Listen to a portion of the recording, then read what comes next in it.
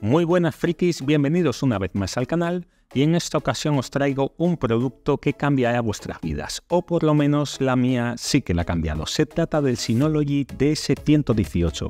¿Qué, ¿Qué es esto? Pues es un NAS. ¿Y qué, qué es un NAS? Simplificándolo mucho, sería un disco duro conectado a Internet. Todos estamos familiarizados ya con el término de la nube eh, sería esos archivos que están en Internet y accedemos a ellos utilizando plataformas como Netflix, Drive, Google Fotos, Dropbox, Spotify y demás. Eh, bueno, desde cualquier móvil, ordenador, televisión, tablet podemos acceder a ellos, pero eso sí, pasamos por caja o pasamos por una aplicación de terceros. Nuestra seguridad queda en manos de ellos. ¿Que queremos controlarlo nosotros? ¿Que queremos tener nuestro propio servidor? Esto es el Synology NAS.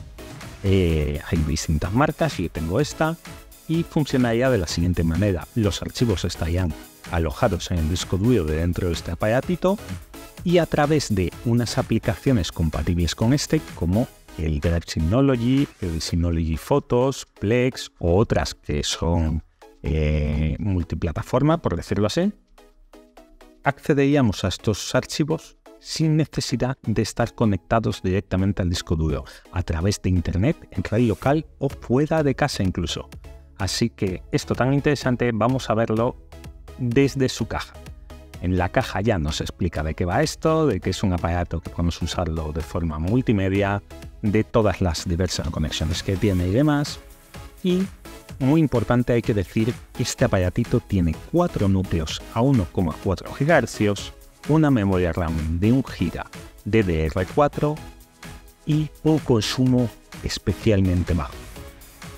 A esto le metemos un disco duro de los clásicos de 4 TB, pero ojo, un disco duro específico para NAS. ¿Por qué? Porque lo vamos a tener 24 horas del día encendido. 24 horas, 7 días a la semana, a full. ¿Por qué es especial? Pues porque tiene que resistir, porque tiene que aguantar más. Estos NAS que tienen, tienen su propio ventilador, tienen su procesador, tienen su CPU. Hablaríamos que es un pequeño ordenador en miniatura para que haga simplemente esta función, para bueno, que tenga menos consumo, que sea más accesible y tener ese servidor como las grandes empresas, pero en tamaño pequeñito, que también hace mucho menos, por supuesto, que lo tenemos en nuestras casas.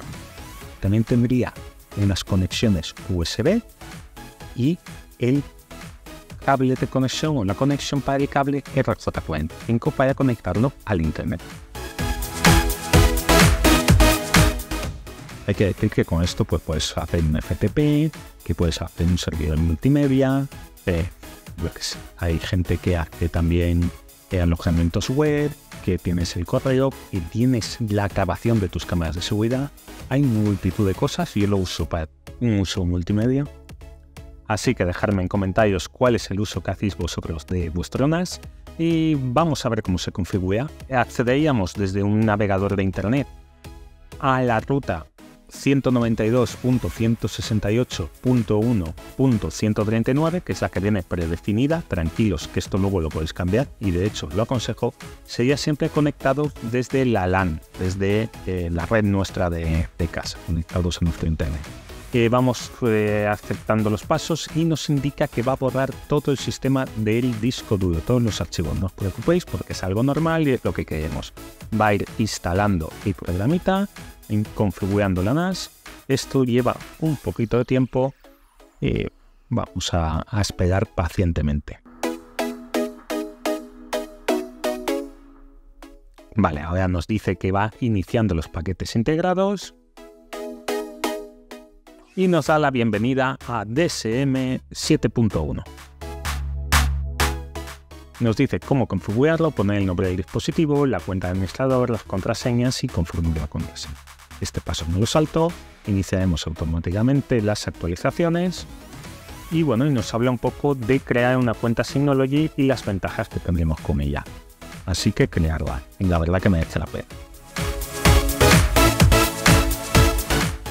Pues eso, la creáis y logáis y ahora rapidito nos va a dar acceso al Station y aquí está el escritorio, digámoslo así, del NAS sería el lugar donde vamos a instalar aplicaciones, donde vamos a configurar y demás. tenemos una monitorización de los recursos, de la CPU, de la RAM para ver en todo momento cómo está. Incluso nos indica la salud del sistema, el estado del disco duro. Esto es muy útil porque cuando el disco duro está a puntito de caer, el sistema nos avisa y sería momento de reemplazarlo. Tiene un montón de utilidades, un montón de funciones, eso veremos en próximos vídeos. Mientras tanto, ir trasteándolo y cualquier duda me la ponéis en comentarios. Un saludo, hasta la próxima amigos.